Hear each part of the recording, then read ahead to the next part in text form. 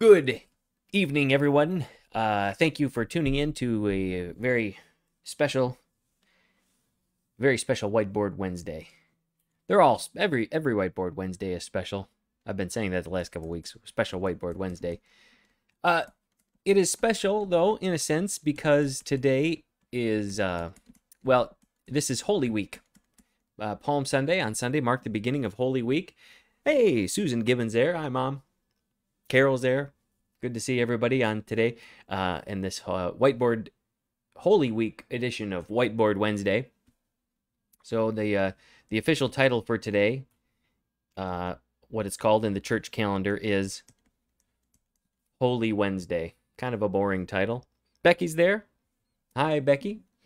Uh, looking forward to um, to uh, Good Friday and Easter Sunday. We've been uh, prepping for that around the church, and uh, we're excited about that. Obviously, celebrating the resurrection of Jesus, the big high point of the of all the whole church calendar. Today's Holy Wednesday. So today in uh, in history, Jesus would have uh, been.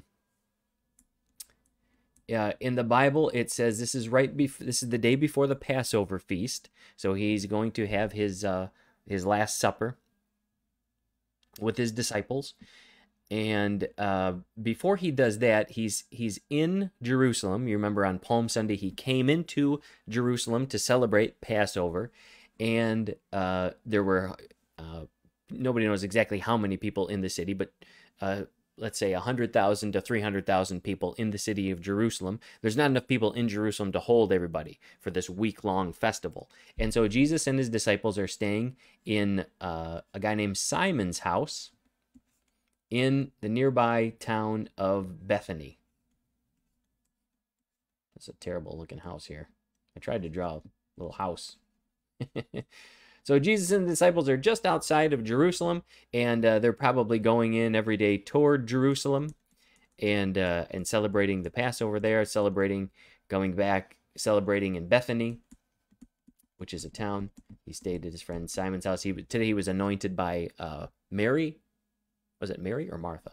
Anyway, um, and then tomorrow he'll be celebrating the Last Supper with his disciples. The day after that, well, that evening he'll be taken away as he's praying in the garden that evening uh, after the Last Supper, and uh, the uh, the sol- soldiers and the temple uh, guards will come and take Jesus away. He'll be on trial all throughout the night. Uh, Jesus won't get any. Oh, Linda's there.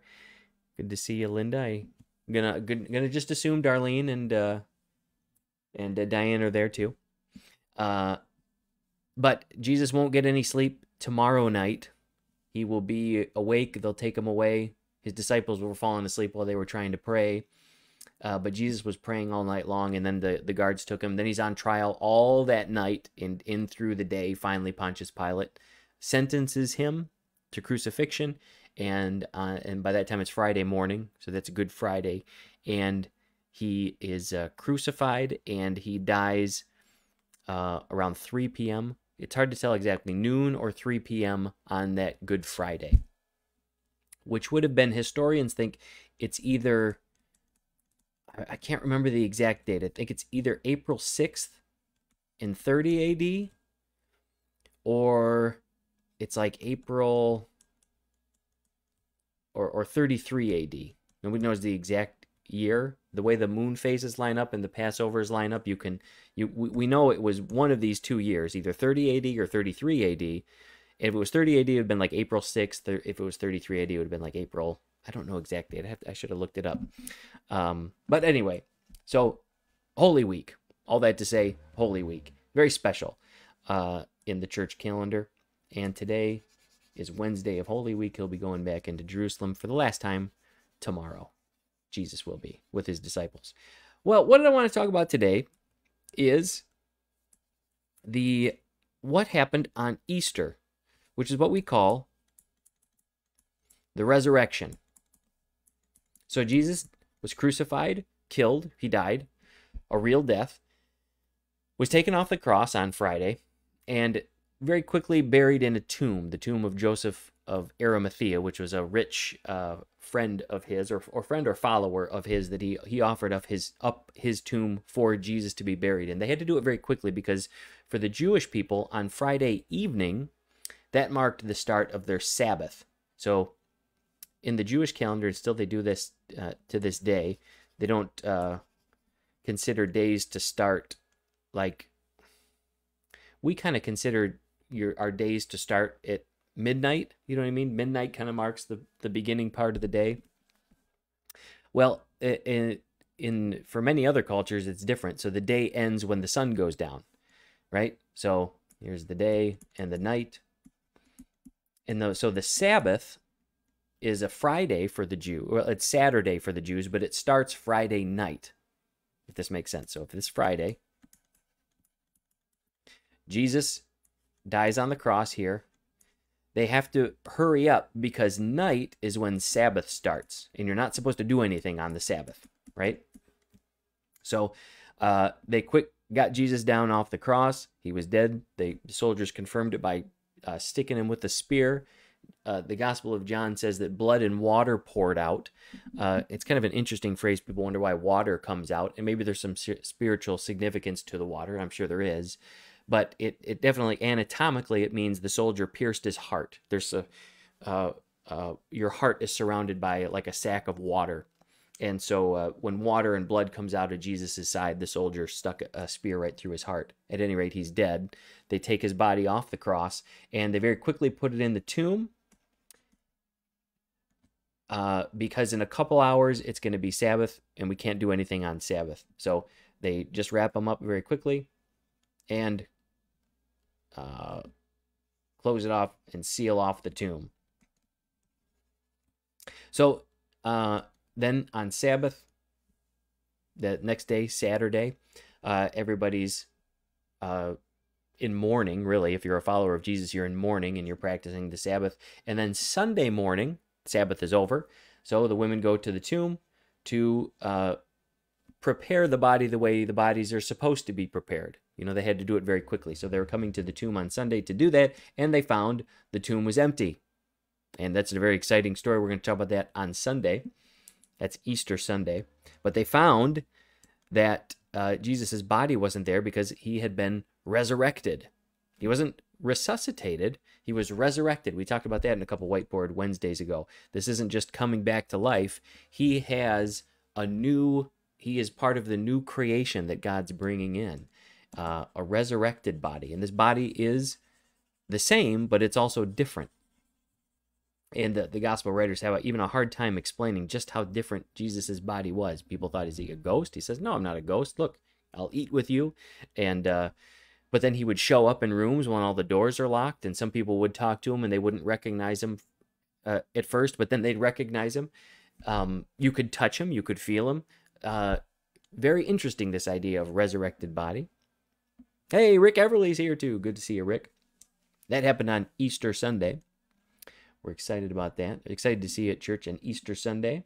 You can also tune in online. We have a cool uh, uh, clip that uh, my brother-in-law put together of uh, kind of uh, it's on our church page if you want to share that and invite your friends and family to join you on easter sunday like i said it's the big day for the church but resurrection now here's the deal with resurrection the resurrection of jesus is the most important part of our faith as christ followers as followers of christ i know christmas is a big holiday and it's very important, obviously, that we celebrate uh, Jesus being born, but the resurrection of Jesus is every is what our faith hangs on. The apostle Paul said, if if it's only for this life that we have hope, then we don't really have hope. We're kind of he said we should probably be pitied. If all these followers of Christ are just kind of like you know, we we have hope that something better is coming, but something better doesn't really come, and that's kind of sad. You kind of feel sad for that person. But we have a hope, and we have an assurity of it because Jesus was resurrected. We see God said, God let us peek behind the curtain and say, hey, listen, death is not the end. So it's very important to us. And I want to talk about, uh, I want, want to give you guys a couple good things that I hope you can lean on and have confidence in the resurrection. So I want to share with you a passage from 1 Corinthians 15. And if you're interested in this idea of resurrection, because it's a very confusing idea. That it's it's this it's our same body, but it's it's different. And what does that difference mean? The entire chapter of 1 Corinthians 15 is is all about resurrection. How Jesus was resurrected and what that means for us that we will be resurrected as well. I've talked about that in Whiteboard Wednesdays prior. But if you're interested in resurrection and what that might mean, you'll get answers in 1 Corinthians 15. But you might also get some more questions because it is confusing. I'm going to shrink this down a little bit. Here's what the Apostle Paul says to the Corinthian church here. There we go. He says, Now, brothers and sisters, I want to remind you of the gospel that I preached to you, which you received, and on which you have taken your stand. So he's reminding them of what they already know. I want to remind you this. By this gospel you are saved if you hold firmly to the word that I preached to you. Otherwise you have believed in vain. So we got to there's I want to remind you of this good news that is our hope. And here's what the good news is, he says.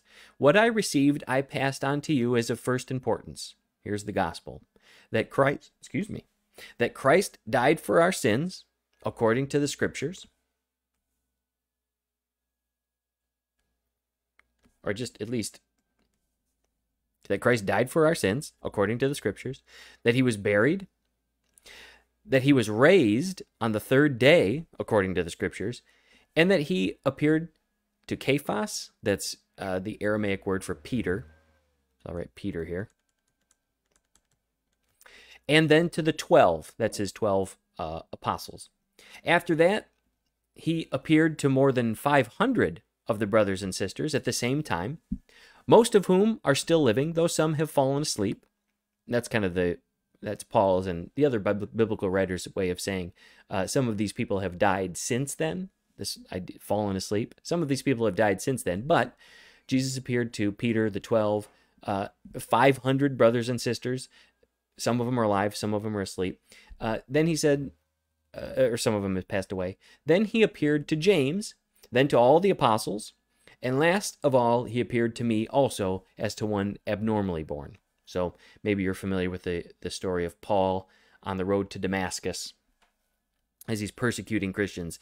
Jesus appears to him on the road of Damascus and completely shatters his, his world and uh, makes him rethink everything that he's been doing. He becomes a Christ follower at that time. This is what he says. He said, Jesus appeared to me also. So Paul includes himself in this list. But the point is, and I think some people forget this too.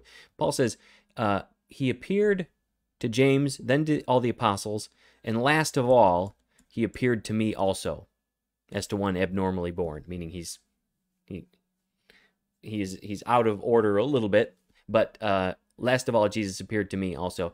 One of the reasons we don't see the resurrected Jesus now is that we have well, Paul was the last one to see him. We shouldn't expect to be seeing the resurrected Jesus around here and there. In fact, Jesus himself said, Listen, I'm going away and I'm sending the Holy Spirit. And the Holy Spirit is going to dwell in you, and it's going to be better than if I was here. Uh, so we should not be expecting to see the resurrected Jesus. I know some people see him in toast and that kind of stuff. and that's not the resurrected Jesus. That's just an image of Jesus, right? But the we we understand Jesus the ascend the resurrected Jesus has ascended into heaven, and that's where he's sitting. He's sitting at the right hand of the Father currently. God with us is the Holy Spirit. Okay. Maybe that doesn't matter so much. But here's the important thing. Here's the gospel, Paul says, that you need to remember. Christ died for our sins. He was buried. He was raised on the third day. And he appeared to all these people. And I think one of the reasons Paul wants to be clear about this is he wants you to know and the Corinthian church to know listen, this is not a private thing. Uh, all the other religions in the world are are private affairs, meaning um, you've got some person and he has some kind of thought about what God is like, and he goes out and he tells you what his thoughts are about that. So whether this maybe this is Muhammad in in uh, Islam, Muhammad was in a cave and he gets a vision from an angel. Then he goes out and he and he uh, he shares the the the words that he got. Again, it's a private experience that he had, and now he's going out and telling a bunch of people. You could think uh, Buddha. Buddha had some thoughts about how things are, and then Buddha goes out and tells people about it. Uh, Joseph Smith, the Mormon founder, he gets a vision from an angel. It's very, it's all private, and then he goes out and he tells people about it. You understand what I'm saying? It's is all. It's typically that's just how religions do it. Paul is clear to say this idea, this, Jesus Christ, is not a private idea that somebody had and then somebody spoke it about. The whole uh, gospel, all the whole story of Jesus is it's it's all public. Jesus himself didn't even write anything, right? It's people later on writing about him, but it's all public. It's all there so everyone can see it. So it's not somebody's private uh, thoughts about the matter. It's Jesus going out into the real world and living in the real world with everybody around who is seeing it and experiencing it and and sees for themselves what he's doing. This is not this is not a story that somebody makes up. Same thing with the resurrection. Uh, the resurrection isn't Paul's just good idea of what happened, but he Jesus really walked out of, walked out of a real tomb that was really there. It's really empty. Uh, his body was real. John, the author, writes, uh, if you read First John or the Gospel of John, he says, "This is the, the Word of God came and he, he dwelt among us. We heard him, we touched him, we uh, saw him. You know, all of our senses were engaged in this. And uh, as as Paul says, as Jesus was resurrected, he was really there with us. He appeared to Peter. He appeared to the twelve. He appeared to five hundred people." This is a this is a public thing. This is not something I'm just making up. And Paul says, I want you to I want to remind you of this. Anyway, and it's a, it's a good reminder for us as well that this is a, a much different way of doing things than how other religions do it. It's public for everyone to see. It's a matter of record, right? It's a matter of historical record. And Paul, I think, would even encourage the Corinthian church listen, if you have questions about this, talk to any one of these people. They're still around. Some of them are, most of them are still alive at this point, although some have fallen asleep. Uh, some have passed away. Now, of course, uh, us living today, it's it's been too long. All of the people that Jesus has appeared to, they have all fallen asleep. They've all died. So, um, so what can we say about this? Well, I want to uh, go do a little timeline here for you. Because the other thing sometimes people will say, uh, the other thing people will say is that, that people just made this up. Like some group got together later on and just made up this whole thing. Well, here's uh, here's why that can't be the case either. And we're gonna have to do. I'm gonna ask you to put on your thinking caps a little bit, and we're gonna do some history. We're gonna I know maybe you guys don't like history or you had a bad time in history class in school, but uh, bear with me for a little bit because I think this is going to be helpful uh, to to uh, answer that question that maybe some of us struggle with. Is this really real? Do you think someone just made this up, or did this really happen? This this will help you, I think. Now we have the Bible, right? And uh, at some point there was a man named Paul, and he wrote down this letter to the Corinthian church. Uh, and we have that letter. It's in it's in the Bible, right? Now, when we think about Jesus, I'm going to do a little timeline here. And I'm going to use the cross for the date of Jesus' death. Now, I mentioned earlier that historians will say and it doesn't matter historian like a christian historian or an atheist historian you know when you when you're studying history it doesn't matter who you are uh, historian any historian will tell you jesus is going to die at either 30 ad or 33 so we're not sure. But for the sake of nice easy numbers i'm just going to say let's say it's 30 ad hold on. Let's say jesus dies at 30 ad hmm, hmm, hmm. Now over here, on this end of the spectrum, you've got the latest uh, book of the Bible that was written is the book of Revelation. That's the latest one, uh, chronologically speaking. I mean, it's the last one in the Bible. It's also the latest to be written. Nobody's sure exactly when. It could be. I've heard some people say 70 AD and as late as 90 AD. Right? And now maybe you've heard this too that some people will say, well, listen, that's a span of that's a span of let's go let's let's say the later date is true. That's a span of 60 years. Right? So 60 years, well, man, you know, a lot can happen in 60 years, and who's to say, and this, that, and the other 60 years ago. Although, in in terms of history, 60 years is not that long ago, right? If if there's people who are watching right now who could tell you what happened 60 years ago, um, but Revelation is not the earliest uh, book that we have in the Bible. It's the it's the latest. So we've got Gospels that are written: Matthew, Mark, Luke, and John. Uh, Mark seems to be the gospel that was the first one to be written. Mark, uh, one of the easy ways to date the gospel of Mark, and let's say the the other gospels are here, and these are the stories of Jesus. One of the easy ways to date the gospel is uh, a very big thing happened in 70 AD, and that was the temple was destroyed. So the temple was destroyed in 70 AD. Now, when the Gospel of Mark was written, the temple was still around. It was still there. So we know Mark was written before 70 AD. So some people will say like 50 AD. Historians will say. So now we're now we're a lot closer. We realize now now we're just 20 years out from where from uh, from Jesus's life. But some people will say, well, that's still 20 years. That's a long time. And um, can we do any better than that? And the answer is yeah, we can get a lot better than that because remember the guy named Paul. Before the Gospels were written, during this 20 year stretch, a lot of things were happening, right? Peter was out, going out, uh, he was writing things. James, the brother of Jesus, was writing things. Paul was going out and writing things. And the letter we wrote was written by this guy named Paul. So, uh, Paul wrote First Corinthians in at some point in time, and we don't know exactly when, but we can we can try to figure it out. So let's let's think like detectives here. So we're gonna have we're gonna do some fun detective work if you're still if you're still with me here. Let's look at this passage in First Corinthians and see if we can get any clues about uh, about when this happened and if we can get any closer to the cross. So Paul says, "Now, brothers and sisters, He's writing to the Corinthians, right? The Corinthian church. I want to remind you of the gospel I preached to you, which you received, and on which you have taken your stand.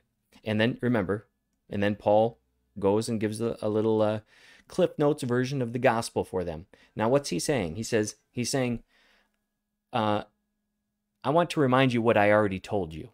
So it'd be one thing to know when the First Corinthians was written, but it's another thing to say, well, wait a second. Yeah, First Corinthians might have been written a little later. Let's say First Corinthians was written in in let's just say it's 40 AD. Now let's say it's let's say it's 50. Let's say it's later. But what's Paul saying here? He's saying he's not making up the gospel right as he's writing the letter. He's saying, I want to remind you what I already told you when I was with you. So, yes, he's writing it at, let's say, maybe 50 AD, but he's telling them that I already told you this, right? So he's reminding them of what he already told you. I want to make sure we're we're good on this. I want to remind you, I already told you this stuff. I'm not making it up now. I already told you this. So what we really want to know is when was Paul in Corinth? When when was Paul in Corinth and when would he have told them this gospel? Right? Well, let's look. We have to go to the book of Acts, which is the which is the uh, chronicle of Paul and Peter's journey. And we'll find let's look and see when he was in Corinth.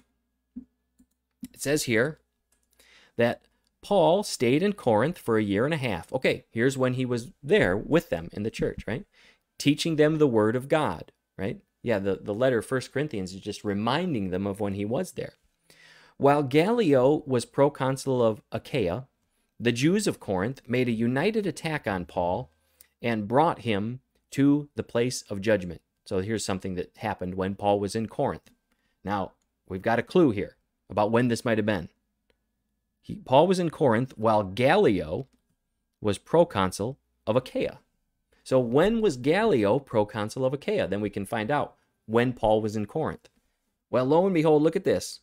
A couple years ago, some archaeologists uncovered this stone here. It's written in Greek. They found it in Achaia. And I don't know if you guys can read Greek or not, but this word in blue, this is G, this is A, L, L, I, O. So this is an inscription about, if you can read the rest of it, it's about the proconsul of Achaia, and his name is Gallio. We've got this today. It's in the British Museum or something like that. Oh, hey, this is that guy that was leading Achaia when Paul was there, right? Again, this is the Christian faith is a it's a public thing. It's a matter of historical record, right? These things actually happen. You can go to the Holy Land if you want, and you can see all these places that Jesus lived and the guys lived, uh, men and women lived. Uh, so here's Gallio, and what this stone says, if I were to read were to read the whole thing, uh, I could read some of it maybe, but uh, it says this is Gallio, proconsul of Achaia, and he was proconsul of Achaia from 40 to 45 AD. They didn't use the they didn't use AD, but if you calculate out the dates when he was in charge, it's during this time. So, all right, that helps us in our in our uh, investigation. So we know if Gallio was there, and through and uh, and uh, if Gallio was in Corinth while Gal or with excuse me, if Paul was in Corinth while Gallio was proconsul, then that means Paul had to be in Corinth 40 to 45 AD. So this is when this is Paul in Corinth. And this is when Paul would have been telling them uh good question, Linda. This is Acts chapter 18. Sorry, I need to write these things down. I say that every week. This is Acts chapter 18, uh, Linda the main thing we're looking at is 1 Corinthians 15. Now, Paul's in Corinth 40 to 45 AD. And, and he, what he says is, I want to remind you of what I told you when I was there. And here's the gospel. I'm, I'm preaching. So already we have the gospel message about Jesus Christ dying for our sins, buried, raised on the third day, according to the scriptures, and all these appearances. And now we're 10 years out, right? Isn't that, that's much, much closer. We're talking about 10 years after the fact. But let's get a little bit closer. let's get a little bit closer. We're going to do a little bit of dig- digging. Because what does Paul say? Again, Paul's in Corinth telling them this. Here's what he says Paul says, For what I received, I passed on to you as of first importance. So he's saying, when I was in Corinth, I was giving I was giving you the gospel that I already received. And that makes sense, right? Paul's not making up the gospel when he's in Corinth. He is passing on to them what he already received, meaning Paul got the gospel before he was in Corinth. Even earlier. When did Paul get the gospel? Well, uh, we can look at this, although I didn't uh, I didn't break it out. It's, uh, hold on just a second. I, I apologize. I, I forgot to, to put this part in here. uh, let me copy it real quick. It's, uh, okay, here we go. So remember, Paul is passing on the gospel to them when did Paul get it? See, when I copy it over, it doesn't say where I'm getting these things from. Okay, let's read this. This is Galatians 1. This is a different letter to a different church. uh, but it's going to help us in our detective work here. For you have heard of my previous way of life in Judaism, Paul says about himself.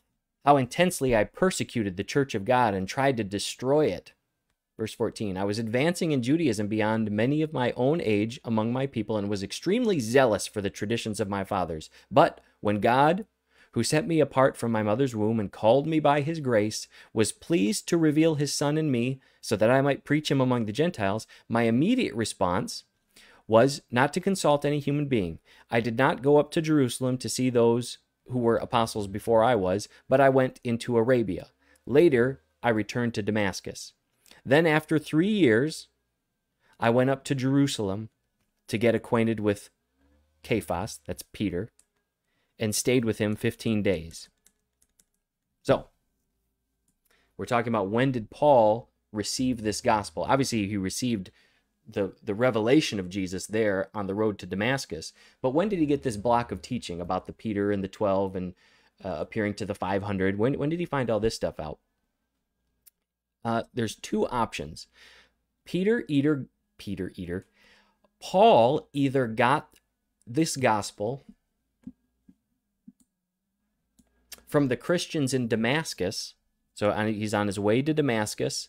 And when he's there, there are Christians in Damascus so we either got it here, but then he says, I didn't consult anybody. I went away to Arabia for three years. And then I went back to Jerusalem after three years and I met with Peter. And if he didn't already get the gospel from the Christians in Damascus, he would have got the gospel there in Jerusalem after three years. So now let's see. Uh, Jesus dies in 30 AD. Paul immediately, the church is immediately persecuted. The on the road to Damascus, that that event's going to happen. Let's say at the at the latest. Well, most people say 31. It'll it'll happen. It happened a couple months after, but let's say it happened a year after in 31 AD. Paul either got it there in 31 AD in Damascus, or it was three years later in 34 AD when he went to Jerusalem. Now, here we're talking about a period at the latest four years, which is four years is, you know, that's just a couple years ago. And already we got this. Now, and again, this is when Paul gets the gospel. And it's not like Paul would have got the gospel. It's not like they would have made up the gospel for Paul, right? Paul says, I received this teaching that was already around when I got it. So, somewhere in between this span of time, and uh, most historians think it's even it's even closer. Like I said, it's even one year later. There was already this block of teaching that Jesus Christ died for our sins, that he was buried, that he was raised on the third day, that he appeared to Peter, to 12, to 500 other people, to James, to the all the apostles, and and then Paul tacks on this little part, and he also appeared to me. He attacked he tacked that part on to the to the thing that he received. But this is either one year after Jesus, or it happened just a couple months after uh, Jesus would have died. That's the only time, let's say at the most six months to a year from the time Jesus is dead to this this teaching that is being spread obviously we know that it would have happened right then right? But this this formal teaching that's already written down and already being spread across the world is 6 months to a year after the event which is very very very very close right? Can you remember what happened 6 months ago? Sure you can. If Jesus appeared to 500 people 6 months ago uh, that's a big deal right 500 people are experiencing that and uh, and talking about it. And uh, and so looking at that and doing this little detective work again you got to put on your thinking caps and do some detective work but it's just uh, so encouraging to realize um, this is not this is not something that somebody made up or somebody even a group of people made up years and years later. This is a very public thing that many many people knew about and many many people experienced and it's that uh, that wonderful public ministry of Jesus and public resurrection of Jesus that uh, we can really hang our hat on and really have hope in. Because that uh, resurrection hope for the very first believers is the same resurrection hope that we can have today. That all the things that we're going through and all the things this world is going through is not the end.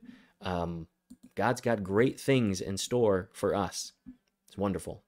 Well, have a great Holy Week. Again, hope to see you either online or in person. We've got a um, Good Friday service, 6:30 p.m. at church, and here on Facebook, and a 10:30 Easter service on Sunday here in person and uh, on Facebook. Hope to see you then.